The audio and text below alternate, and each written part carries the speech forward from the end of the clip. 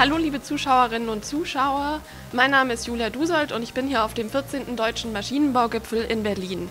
Bei mir sind Jerun Büring und Dieter Friedrich Sauer. Sie sind für den Partnervertrieb bei das So-System zuständig. Wir sprechen heute über das Industrial Metaverse. Bisher hat sich die Digitalisierung viel um den digitalen Zwilling gedreht. Jetzt gibt es dieses neue große Ding, das Metaverse. Worin unterscheiden sich denn dieser digitale Zwilling und das Metaverse? Ja, also vielen Dank erstmal für die Gelegenheit, hier ähm, dieses Interview zu geben. Also ich glaube, ähm, der digitale Zwilling und das Metaverse bauen ja praktisch aufeinander auf. Also ohne digitale Zwillinge kein Metaverse und in der Kombination der digitalen Zwillinge und der Abbildung in einer virtuellen Realität sozusagen ergibt sich eigentlich schon ein Stück weit das Metaverse. Ähm, so würde ich es vereinfachend mal betrachten. Ja. Wie siehst du das hier?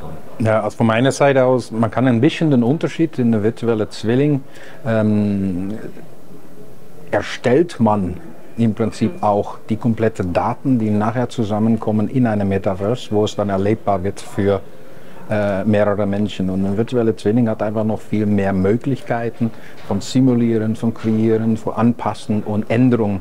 Und wenn man in der Metaverse drin ist, ist eigentlich ein Gegebenheit, da wird ja nicht mehr modifiziert, da wird interagiert mit dem Metaverse aber nicht produziert oder nicht kreiert. Und ich denke, der virtuelle Zwilling ist ein lebendiges Ding, was sich ändert ähm, und was dann am Endeffekt in der Metaverse landet. Aus meiner Sicht. Aber eine gute Erklärung auf jeden Fall. Wenn wir jetzt darüber sprechen, dass dieses Thema Einzug halten wird in den Unternehmen, müssen die sich ja auch ein bisschen darauf einstellen können, welche Skills werden den, in den Unternehmen benötigt werden in Zukunft, um das Industrial Metaverse einzuführen und ordentlich zu nutzen.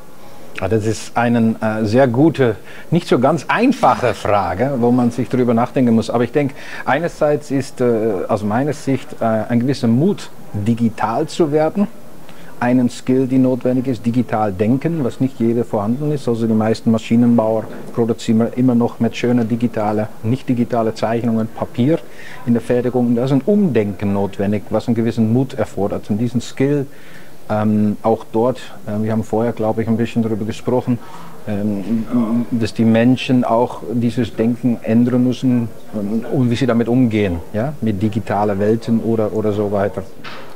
Ja, ich glaube, es ist die, die, einfache Antwort wäre wahrscheinlich, was vielleicht viele erwarten, zu sagen, wir brauchen mehr Informatiker, wir brauchen mehr Menschen, die im Prinzip programmieren können. Aber ich, äh, die braucht man sicherlich auch, aber entscheidend ist das sicherlich nicht.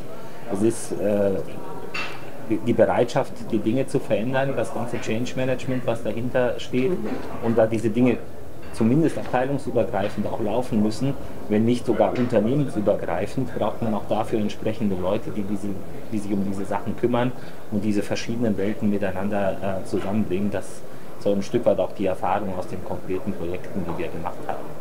Und da erfordert man, dass man auch die Historie ein bisschen ablegt. Ne? Also eine 15-jährige Tochter von mir hat viel mehr Ahnung über die digitale Welt, weil die interagiert damit wie jemand, die äh, 22 Jahre, so mal sagen, in der Firma immer den Prozess ja. nach A, B, C gemacht hat und plötzlich jetzt eine Metaverse. Für den vielleicht auch der digitale Zwilling schon neu war. Äh, komplett mhm. neu ist ja. und dann ist das natürlich ein Riesenschritt. Und das meine ich mit dieses digital Denken, wo man was lernen können von den Jüngeren. Ist aber nicht ein, ein älteres Thema, es ist ein Mindset-Thema aus meiner mhm. Sicht. Und das ist der Skill, den man mitnehmen muss. Der Mut, da einen anderen Weg gehen zu können. Ja, diese Mindset-Veränderung ist sicher ein sehr, sehr wichtiger Punkt, der auch eine Rolle spielen wird, dass das in Zukunft auch greifen wird, das Thema, und auch schnell umgesetzt wird. Was glauben Sie denn, wann ist dieses Thema Industrial Metaverse denn reif für die Masse? Also momentan sind es ja Pilotprojekte hauptsächlich. Ich glaube, in einzelnen Bereichen ähm, tun viele Unternehmen schon, schon die, die Dinge. Ein Stück weit, es ist ja so ein sehr datengetriebenes Thema. Das heißt, ähm, die Daten anzupacken, insbesondere die historischen Daten, ist ja etwas, was wir in den meisten Projekten als Hauptherausforderung äh, vor uns sehen und dann letztendlich, wenn die Daten in, der, in einer äh, homogeneren Datenbank vorhanden sind, dann die Verknüpfungen und so weiter zu erstellen. Das ist eigentlich das, ähm, die, die, die, die Haupthürde, mit denen viele Unternehmen schon zu kämpfen haben. Denn diese Datenbestände haben sich ja über Jahrzehnte ein Stück weit auch aufgebaut. Ähm, und dieser Schritt ist oft halt sehr schmerzhaft. Und ähm, ich denke, von einzelnen Leuchtturmprojekten mal abgesehen, ähm, steckt das Thema noch relativ am Anfang. Aber bei den Unternehmen, die diesen Schritt strategisch schon angehen, merkt man auch, dass sie ähm, diese Nutzenvorteile auch klar im Blick haben und das Ganze dann sich auch, sich auch ähm, kapitalisieren und auszahlen wird. Aber also ich würde sagen fünf Jahre Minimum, ja, ähm, um mal wirklich äh, einfach mal eine Zahl äh, rein zu, rauszuhauen. Also es gab äh, eine super Untersuchung da auch von der, von der Telekom mal, die sie jedes Jahr machen, also unter ihren, ihren Kundenkreise. Äh, die meisten Digitalisierungsprojekte scheitern, weil sie nur Pilotprojekte machen. Und wenn man sich überlegt, wenn eine Firma eine virtuelle Zwilling von seiner Produktpalette macht, dann beinhaltet es alles alles, sprich alle Abteilungen, von Entwicklung zu Fertigung, zu Manufacturing, zu Vertrieb. Wie mache ich Vertrieb anders? Wie setze ich ein anderes Geschäftsmodell auf? Einen, einen, einen Maschine mieten statt verkaufen, dadurch einen kontinuierlichen Umsatz zu haben.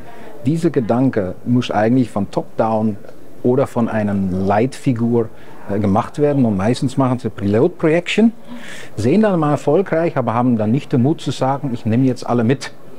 Und das ist, warum es noch nicht in der Masse ist, wird aber langsam kommen, getrieben von Startups, äh, wie wir auch hier dabei haben auf dem Maschinenbaugipfel, die einfach schon mal zeigen, die haben ja die Barriere nicht, die haben diese Bremse nicht. Die sind klein, die können agil äh, viel schneller sagen, ich mache diese komplette Themen auf der, auf der, auf der digitalen Seite. Und ich glaube, da kann man auch wirklich äh, sehr schnell aufs falsche Pferd steigen, wenn man ähm, früher, früher, das ist nicht so lange her, haben wirklich Unternehmen dann quasi innovative Start-up-Firmen gegründet, also große Industrieunternehmen, die dann kleine Start-up-Strukturen gebildet haben. Und damit hat man eigentlich genau den falschen Weg eingeschlagen. Denn letztendlich muss man ja das Unternehmen transformieren und nicht ein kleines Startup gründen und sich dann darüber freuen, dass man so schön digital ist, wenn trotzdem 95 Prozent des Unternehmens immer noch in der etwas, in Anführungszeichen, alten Welt verhaftet sind.